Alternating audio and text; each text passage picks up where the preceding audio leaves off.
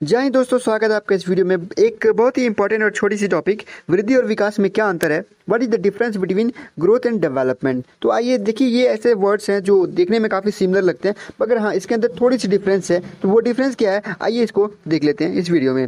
तो सबसे पहले देखिए, वृद्धि में क्या होता है और विकास में क्या होता है। तो वृद्धि एक परिणात्मक परिवर्तन है क्वांटिटिव चेंज है, ठीक है? कुछ ऐसी चीज़ जिसको आप मेज़र कर सके, जिसको आप देख सकें, ठीक है? तो इसको वृद्धि कहते हैं। आपने अक्सर सुना होगा कि उसकी लंबाई में वृद्धि हो जाना, उसकी वज़न में वृद्धि हो जाना तो ये सारी चीज़ें किसके अंदर आती है? वृद्धि में। क्यों, क्योंकि आप इसको मेजर कर सकती हैं। आज वो छः फुट का है, कल वो दो इंच बढ़ गया। तो ये सारी चीज़ें वृद्धि के अंदर आती हैं। वहीं विकास की बात करें तो विकास एक क्वालिटिव चेंज है, गुणात्मक परिवर्तन है। जब आपके किसी गुणों में परिवर्तन आ जाता है तो वह विकास कहलाता है। जैसे आपके कार्य करने की क्षमता, कार्यशलता कार्य क्षमता आपकी सोच विचार करने में विकास हो जाना, ठीक है?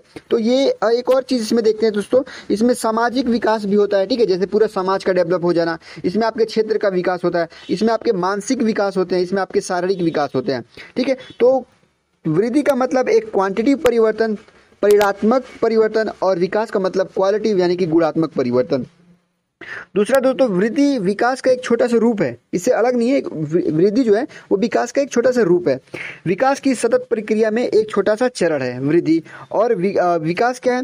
विकास शब्द एक विस्तृत शब्द है, वृद्धि विकास का ही भाग है। अब एग्ज़ाम्पल के तौर पर मैं कह दूँ कि शारीरिक विकास होना तो शारीरिक विकास होने में क्या होता है? उसकी बॉडी उसका वेट का बढ़ जाना या उसकी मसल्स का बढ़ जाना। तो ये मसल्स और बॉडी और हाइट का बढ़ जाना, ये तो वृद्धि होगी इंडिविजुअली वृद्धि होगी। लेकिन हम जब संपूर्ण रूप से बात करेंगे कि शारीरिक विकास होना तो वो एक विकास होता है। तो जो वृद्धि है, वो विकास का ही एक भाग है, ठीक है? तो ये हो गई दोस्तों।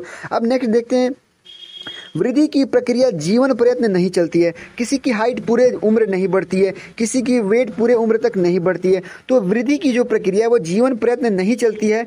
बालक अगर एक बार पूर्ण परिपक्व हो गया, उस स्थिति में वृद्धि की प्रक्रिया समाप्त हो जाती है। जबकि विकास क्या है भाई? विकास जीवन प्रयत्न चलने वाली प्रक्रिया है। आप हमेशा कुछ ना कुछ अपने आप को विकसित कर सकते हैं, आप अपनी सोच को विकसित कर सकते हैं, आप अपनी भावनाओं को विकसित कर सकते हैं, आप अपने शारीरिक विकास कर सकते हैं। तो विकास जीवन प्रयत्न चलने वाली एक प्रक्रिया है। वृद्धि की तरह यह बालकों में समाप्त नहीं होती, रुक नहीं जाती, ठीक है? नेक्स्ट देते हैं, वृद्धि होने वृद्धि में होने वाले जो परिवर्तन है, उसे सामान्य रूप से जीवन में देखा जा सकता है। तो आप सामान्य रूप से कोई बच्चा आज छोटा है, पाँच साल का है, वो दस साल के बाद बड़ा हो जाएगा तो उसकी वृद्धि जो होगी, वो सामान्य रूप से आप देख सकते हैं। लेकिन विकास को सामान्यता देखा नहीं जा सकता, क्योंकि व्यक्ति के जीवन में यह अप्रत्यक्ष रूप से होता है, ठीक है? अब किसी की सोच कितनी डेवलप हुई, कोई समाज कितना विकसित हो गया, आप इसको प्रत्यक्ष रूप से देख नहीं सकते, महसूस कर सकते हैं, उसके साथ टाइम स्पेंड करके, उसे समझ सकते हैं, मगर आप देख के नहीं बता सकते। अब मान लीजिए कोई बंदा आज इतना मेहनत करता था, कल उसकी मेहनत में वृद्धि हो गई, विकास हो गया सॉरी उसके कार्य करने की क्षमता में विकास हो गया। तो आप देख के नहीं बता सकते कि उसकी कार्य करने में क्षमता का विकास हुआ या नहीं हुआ। तो वृद्धि जो है, वो सामान्यतः देखा जा सकता है, ये विजिबल होता है, और विकास जो है इनविजिबल होता है, उसको सामान्यतः देखा नहीं जा सकता। वृद्धि को आप माप सकते हैं, ठीक है? हाइट को आप माप सकते हैं वेट को आप माप सकते हैं, जबकि विकास को आप माप नहीं सकते, इसका मापन सामान्यतः कठिन है, ठीक है? तो ये कठिन होता है। तो ये था दोस्तों, एक शॉर्ट वीडियो वृद्धि और विकास में अंतर, ठीक है? उम्मीद है आपको समझ में आई होगी। हाँ इंग्लिश मीडियम वाले बच्चों के लिए वो फिर से आप, मुझे पता है आपके लिए भी लाना है वीडियोस तो जस्ट एक मिनट इंग्लिश वालों के लिए भी है ये।